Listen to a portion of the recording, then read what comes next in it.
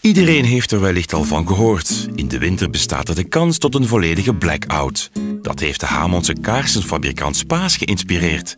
Zij maakte een eerste hulp bij stroomtekortpakket. Er zitten een, eh, een vijftal leuke kaarsjes in voor, uh, voor elk moment. Wil je wat gezellig maken, wil je wat, wat lezen.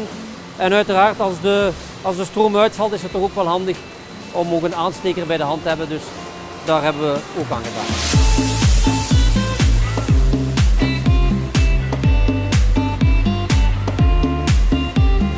Ik vind dat een heel goed idee, want uh, het zou kunnen zijn dat we moeten afschakelen en uh, een gezellige kaars daarbij opsteken is wel heel mooi. We hebben ook dat pakket dat in de markt aangeboden wordt. En ik vind dat ondernemers dynamisch moeten zijn erop inspelen.